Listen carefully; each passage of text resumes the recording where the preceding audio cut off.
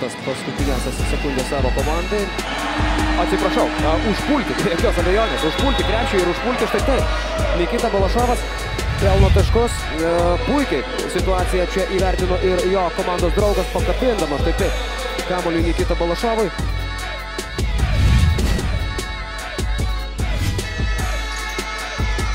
Petrukonį numetimas, viskas ir perima kamuolį. Darokas Gedraitis. Iki galo dar kartą iš viršaus.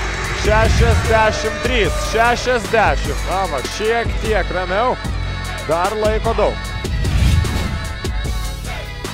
Džiūnas, na, jeigu ir taškų nerenka tokiais tempais kaip Jimmy Baronas, tačiau jau yra įmetęs 11 taškų. Čia Johnsonas, jo dėjimas dviem rankomis iš viršaus ir čia be abejo skelbiama minutės pertraukėlė, kurios reikia Virginijui Šeškui. O Mari Johnsonas su linkėjimais iš Saulėtos Jamaigos.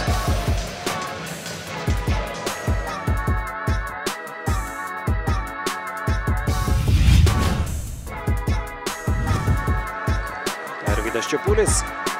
10 sekundžių iki atakai skirto laiko pabaigos. Puikus perdavimas ir Lekūnas įkiša kamuolį tarp dviejų varžovų. Vladislavas Koreniukas krauna kamuolį iš viršaus.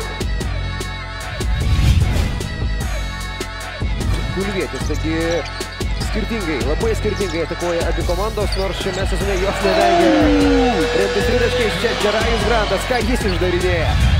Demonstruoja, jog gali apgauti vaikus, jog savo sportbačiuose turi įsitaisęs spiruoklės.